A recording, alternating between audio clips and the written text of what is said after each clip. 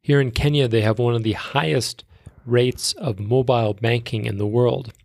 But me being here a Luddite from Canada, I have to spend a fair bit of time standing in front of ATM machines in order to get cash. One of the things I was wondering while listening to the sound of the ATM machine spooling and preparing the cash before it delivers it through that front slot is if the sound that it makes as the money and bills float around through the rotators is standardized. Meaning, can you actually guess how much money someone is taking out simply based on the sound of how long the cash machine spools cash for? Well, I would assume that you actually couldn't. I thought that this would have been a standardized duration regardless on the number of bills retrieved.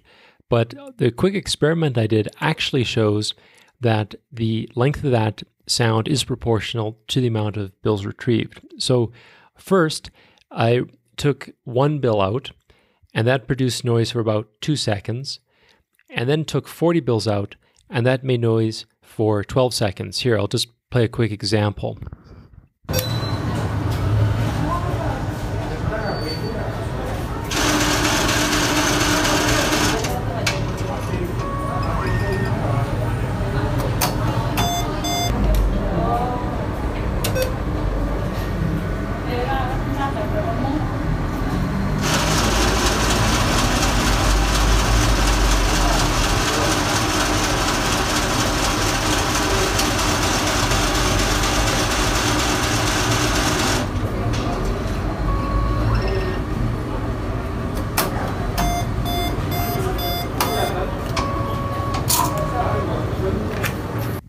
So, why is this important? I think twofold. First, there is a certain amount of privacy which you would like to have that the person standing in line uh, can't determine how much money you're taking out based on how long the ATM is making sound, or if the ATM is behind a wall and you allegedly have privacy of the wall, you can still hear uh, the sound of the ATM through that wall. And this would be useful, one, just for general privacy, and two, if you actually were a criminal and were trying to figure out who you should rob, you could deduce this in some ways based on the uh, length of the cash spooling.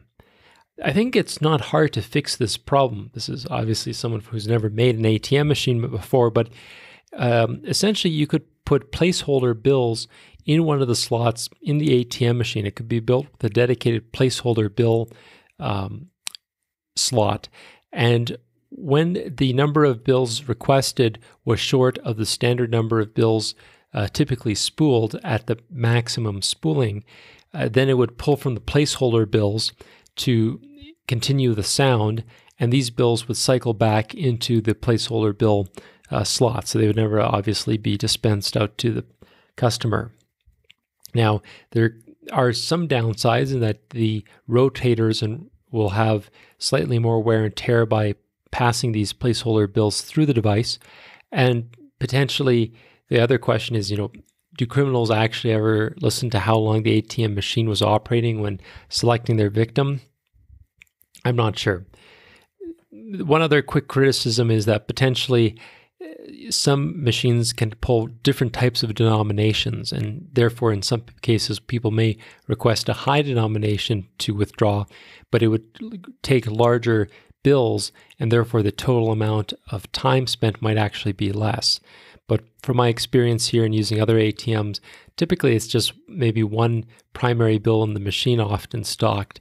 And so it is, from my perspective, reasonably straightforward to know roughly how much was taken out based on the time the ATM machine uh, spools for.